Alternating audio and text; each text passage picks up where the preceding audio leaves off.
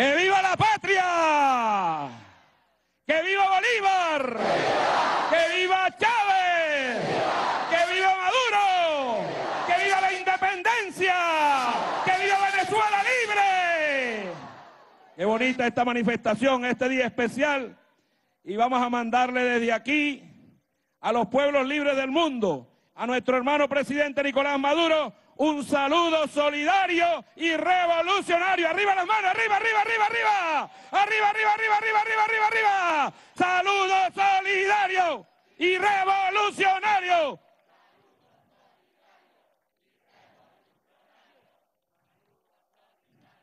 Y revolucionario.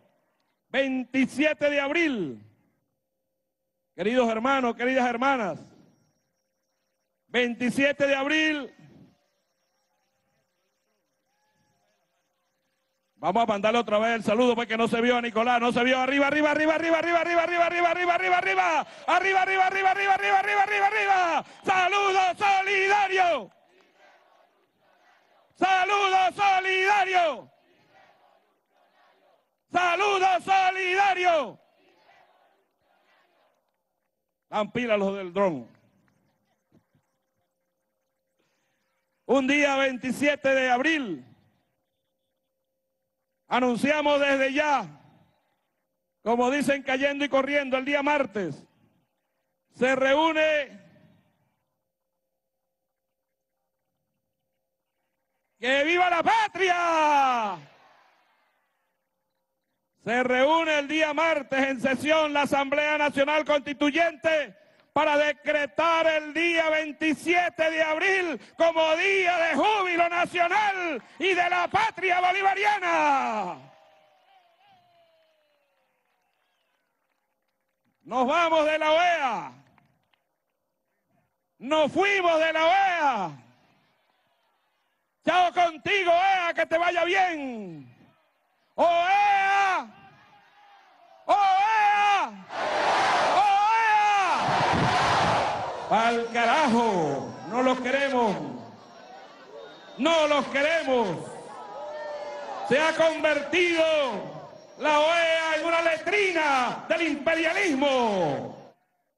Se ha convertido la OEA en el instrumento represivo más grande del imperialismo en la tierra grande de Bolívar. Se ha convertido la OEA en un instrumento no solo, no solo como lo dijo el gran Fidel Castro, ministerio de las colonias, no, se ha convertido en un instrumento de represión para los pueblos, se ha convertido en un instrumento de imposición de las decisiones imperiales a los pueblos pobres de América Latina y el Caribe, con la complicidad de una minoría de gobiernos de algunos países lacayos arrastrados serviles al jefe del imperio, el señor Donald Trump. Hoy nosotros, este pueblo que está en la calle hoy, estas mujeres, ¿dónde están las mujeres de la patria? ¿Dónde están los hombres de la patria? La juventud de la patria. Hoy, hoy Hoy, ese señor que está allá acude a todas las maniobras posibles, a todas las maldades posibles para hacerle daño a nuestro pueblo. Y hoy nuestro pueblo, este que está aquí hoy, este que está aquí hoy, yo estoy seguro, y lo dirá la historia para los más jóvenes, dentro de 30, 40 años, Estoy seguro que la historia recogerá la batalla y la lucha que está dando el pueblo de hoy como una de las batallas más grandes de la historia de Venezuela. Comparada solo con las luchas de independencia de hace 200 años. Y hoy hay razones objetivas para decirlo. Nos estamos enfrentando al imperio más poderoso de toda la historia de la humanidad, al imperio más genocida de toda la historia de la humanidad. al imperio más cínico de toda la historia de la humanidad. ¿Y que ha hecho nuestro pueblo? Con humildad, pero con mucha dignidad, ha levantado su cara y le ha dicho al imperialismo, somos libres, somos soberanos y somos independientes. Nos corresponde a nosotros hoy dar esa batalla y nos amenazan, nos amenazan. Por un lado tienen el garrote de lo que ellos llaman sanciones contra funcionarios que han incluido en su última lista a nuestro querido hermano canciller Jorge Arriaza, quien yo pido un aplauso a Jorge Arriaza, un patriota, un hijo de Bolívar de Chávez, defensor de esta patria. Y lo han incluido por qué razón. ¿Cuál es la razón fundamental? El primero es ver si él se acobarda. Ver si Jorge retrocede. No lo van a lograr. Conocemos a Jorge Arriaza y Jorge Arriaza es un patriota íntegro, integral, que ama la patria libre, la patria soberana. No lo van a lograr. Descartada esa, viene la otra hipótesis.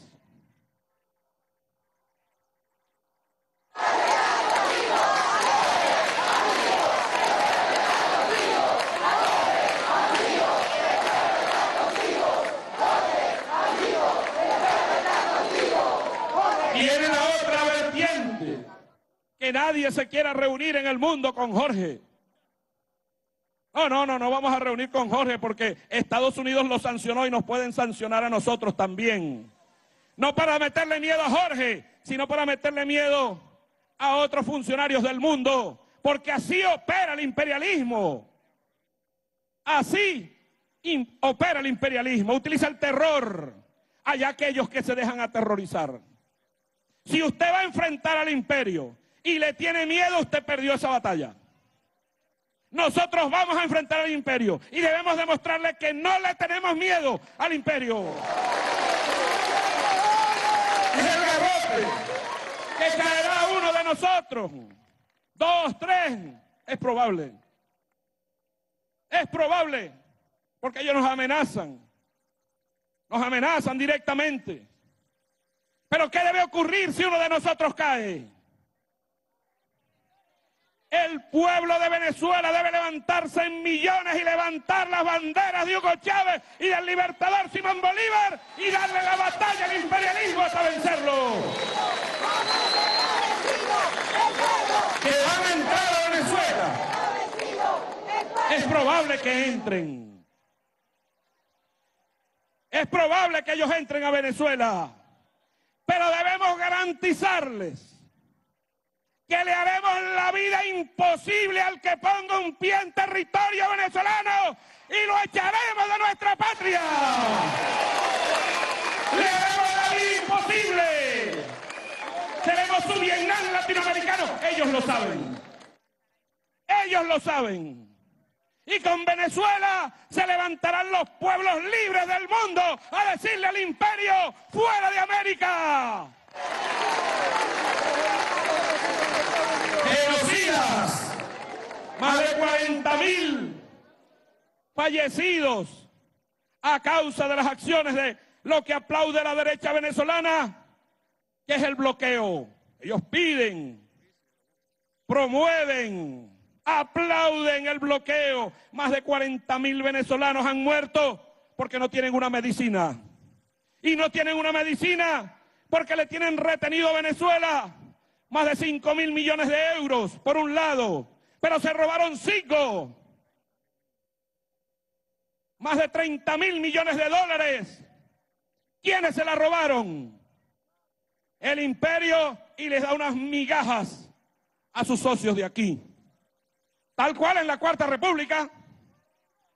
Tal cual en la Cuarta República.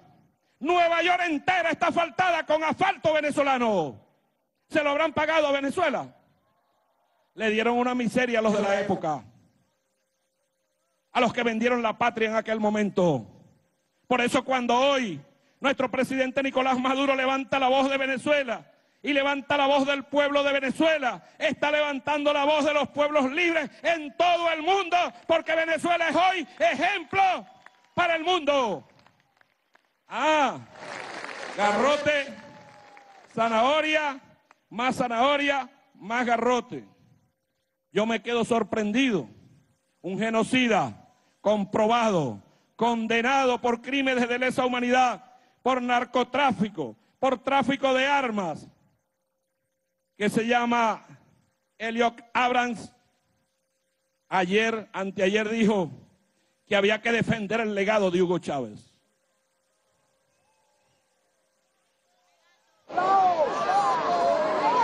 Ellos estaban haciendo eso para defender el legado de Hugo Chávez. ¿Y por qué no dejaron gobernar a Hugo Chávez mientras fue presidente? Porque le dieron un golpe de Estado y estamos seguros que están detrás del asesinato del comandante Hugo Chávez.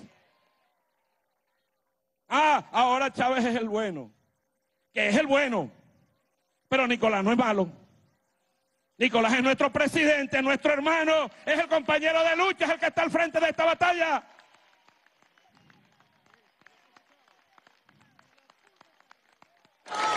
Entonces ellos quieren dividir. Ojo pelado, lo estoy diciendo aquí hoy, 27 de abril. Quieren dividir las fuerzas chavistas. Como trataron de dividir a los hermanos militares. Se comprometió el autoproclamado Juanito Alimaña que iba a entregarle la mitad de los oficiales de la Fuerza Armada. Lo iban a apoyar. Les cayó a coba. Juanito Alimaña, mucha maña. Y le creyeron, no le van a creer más nada. No le van a creer más nada. Está en salsa, lo van a quitar a él. Lo van a quitar es a él. Se comprometió. La mitad de los militares dijeron que eran mil. Mentira, fueron ocho. Se fueron para Colombia. A Colombia llegaron los desertores, los narcotraficantes los vendedores de armas, los ladrones que se habían ido de la Fuerza Armada y se habían fugado de Venezuela y quisieron disfrazar sus delitos como perseguidos políticos.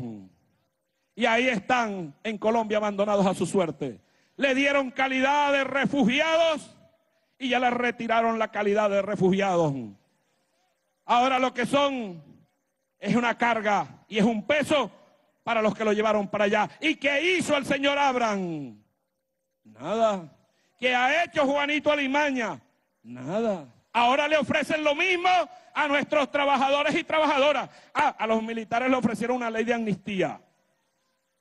Levántate contra Maduro y te vamos a perdonar. Ah, carajo. Dios y ellos, pues. Levántate contra Maduro y te perdonamos. A los trabajadores ahora aprobaron un estatuto de protección al trabajador y la trabajadora. Trampas cazabobo se los advierto desde ya y el que tenga alguna, alguna edad puede recordarlo y quien no tenga edad puede buscarlo en internet. ¿Cuántos trabajadores despidieron ellos de la administración pública? La reducción, decían, la reducción del aparato del Estado. ¿Quién pagó la reducción del aparato del Estado? El pueblo, el pueblo. Los castigaron, le quitaron las prestaciones. Y lo han hecho en todos los países donde ellos promueven el libre mercado. Aquí irían por más de dos millones de trabajadores y trabajadoras para sacarlos de la administración pública. Estos hermanos que están aquí en la Cancillería, que están trabajando noche y día, serían expulsados de la Cancillería.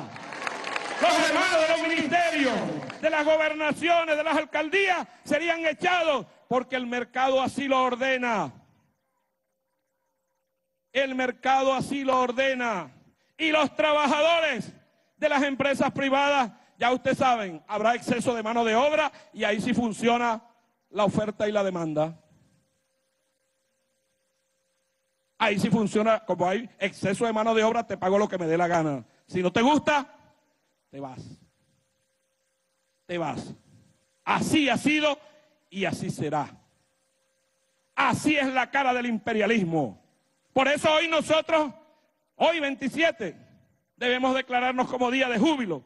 Y yo le pido, porque miren, todo esto forma parte de la historia, nuestra historia, la historia que debemos contarle, como me dijo una niña que se llama Jessica en estos días, que su profesora de historia era su abuela, que le contaba cómo eran las cosas hace 30 años en Venezuela.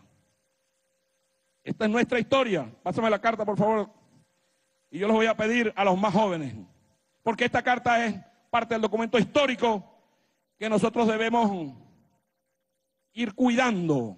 Es la carta que un 27 de abril de 2017 nuestro hermano presidente Nicolás Maduro Moros le envía a Luis Almagro, secretario general de la Organización de Estados Americanos, OEA. La voy a leer completa, porque aquí está la esencia del porqué y las razones. Nosotros le estamos diciendo OEA. Nosotros le estamos diciendo OEA. Señor secretario general, los diplomáticos son muy educados en verdad. Por eso Jorge, Jorge tan educado.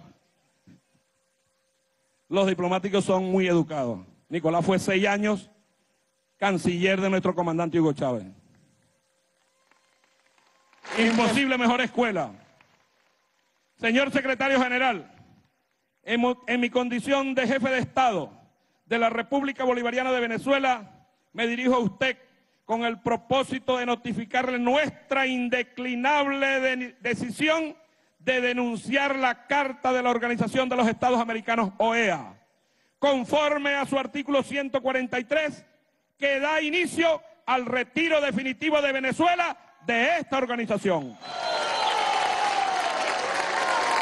Esta decisión se ajusta de manera soberana a los postulados históricos y doctrinales de nuestro proceso independentista bolivariano. Cabe también señalar que la historia de la organización, tanto de otrora como de ahora, expresan de manera lastimosa a una corporación secuestrada desde su nacimiento por intereses contrarios al espíritu de integración y unión, enseñanza luminosa de nuestro libertador Simón Bolívar, el más grande hombre que haya parido este continente, quien siempre soñó con la patria grande, libre e independiente. La OEA se gestó y consolidó como instrumento infame al servicio de intereses hegemónicos imperiales muy claramente definidos, privándole de la misión posible y correspondiente al de una organización internacional que haga respetar y respete los principios de derecho internacional, principalmente de igualdad soberana, independencia y autodeterminación. La OEA se ha convertido en vehículo de intervenciones abiertamente lesivas de los principios y del Estado de Derecho internacional. Resulta profundamente vergonzoso que esta institución hiciera mutis, ni tan solo una denuncia, al menos una declaración frente a acciones injerencistas ni siquiera frente a un caso tan absurdo como arrogante que aconteció con la orden ejecutiva de Barack Hussein Obama del 9 de marzo de 2015 y que hoy revitalizan una facción minoritaria de Estados miembros de la OEA al pretender proyectar a Venezuela y a su revolución como una amenaza regional. Muchos otros estados, al igual que el nuestro, padecen y se quejan por su desvío y pérdida de sentido. Venezuela hizo lo posible por evitar que se instaurara una institucionalidad extraviada que se rebeló contra los fines de los pueblos de la región para convertirse en mero gestor, reproductor o ejecutor de los intereses hegemónicos derivados del monroísmo y de sus, y de clientelas vasallas. Venezuela, con profunda dignidad y extrema paciencia, concurrió a los distintos foros e instancias burocráticas de la OEA para exponer la realidad del país, que dista enormemente de la puesta en escena y los falsos positivos que usted, dirigiéndose a Almagro, vilmente ha construido, aplaudido y publicado.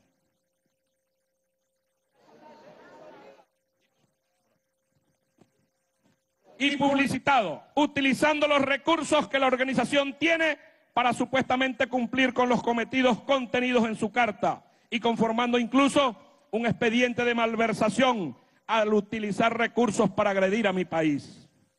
Con energía, también hemos denunciado el doloso plan de intervencionismo y tutelaje que va mucho más allá de la intención aviesa de derrocar mi gobierno, sino que de manera histórica procura destruir el modelo bolivariano, amedrentar a otros Estados miembros y promover formas novedosas y destructivas de agresión a mi país. La imposición brutal de acciones de tutelaje, esgrimido por los principales ejecutores de este plan imperial perverso. Ha ejercido usted, señor Luis Almagro, la peor de las actuaciones jamás conocidas en la historia de esta organización. Los tiempos por venir lo destacarán como el más infame y triste funcionario que haya deambulado por ese organismo. Y vaya que debió aplicarse para hacer méritos en ese sentido. La sesión extraordinaria del día 3 de abril marcó un hito en el largo expediente de ilegalidades e irregularidades en la OEA. Con su auspicio y la participación de un grupo minoritario de estados, se contravino la institucionalidad de la OEA con un Consejo Permanente de facto, con el único propósito de forzar la adopción de decisiones espurias y carentes de legalidad para actuar contra un Estado soberano.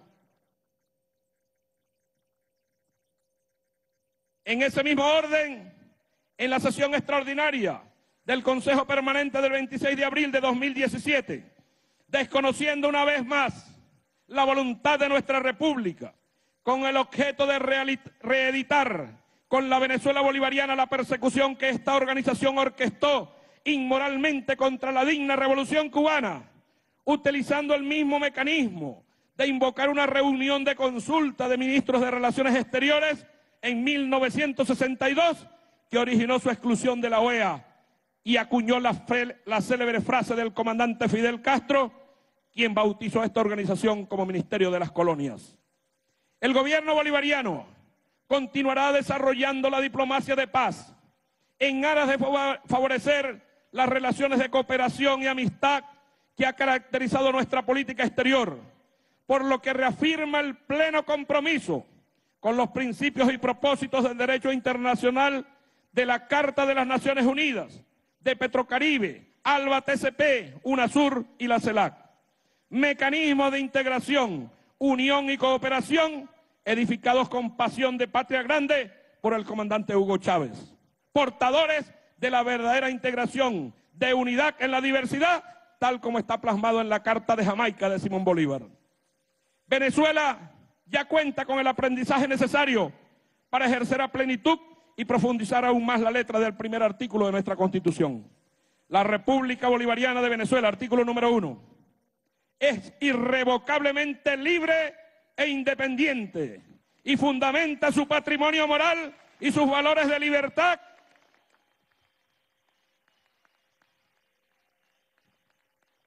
igualdad, justicia y paz internacional en la doctrina de Simón Bolívar, el libertador.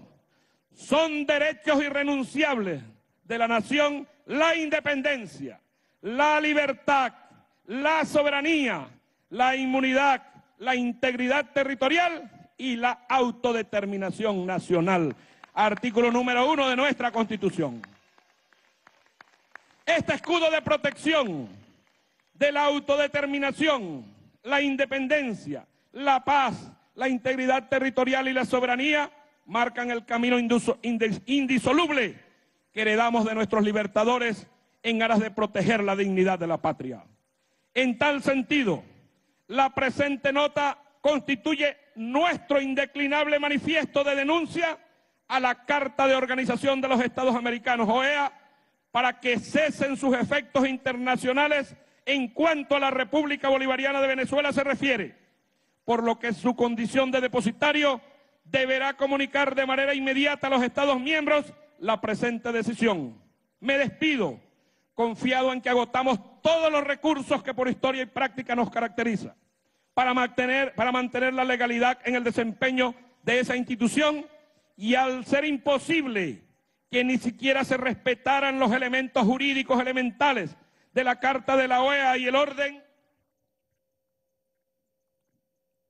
y el orden internacional, nos retiramos señalando como un grosero agresor de mi patria. Venezuela libre e independiente no retornará jamás al seno de esa organización, devenida desde su origen en un instrumento para validar los deseos imperiales contra los pueblos soberanos. Con esta acción soberana hemos emprendido la tercera empresa victoriosa para la, independencia definitiva de la patria grande. Los Estados Unidos parecen destinados por la providencia para plagar la América de miseria en nombre de la libertad. Simón Bolívar. Con Bolívar y Chávez venceremos. Nicolás Maduro presidente constitucional de la República Bolivariana de Venezuela.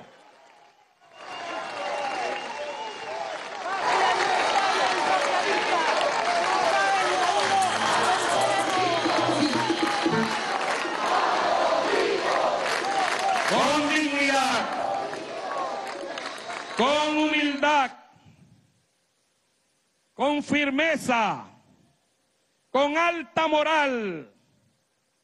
Nuestro presidente, que ha aguantado una y mil agresiones en lo personal y contra nuestra patria, levanta esa bandera hermosa tricolor que está allá con sus ocho estrellas.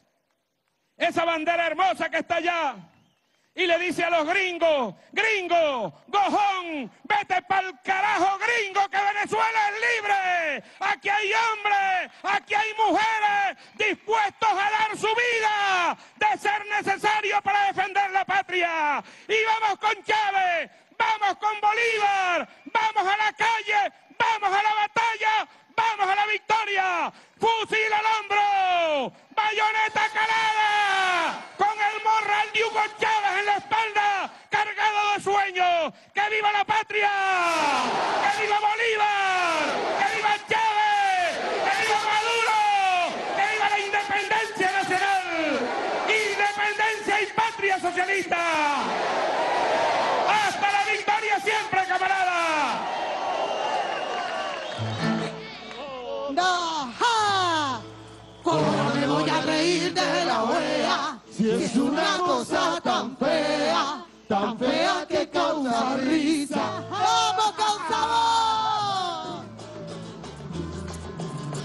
¿Cómo no me voy a Y reír de la OEA, si es una cosa tan fea, tan fea que causa risa. El pueblo venezolano, Latinoamérica te dice. ¿Cómo no me voy a reír reír de la OEA, si es una cosa tan fea, tan fea que causa risa.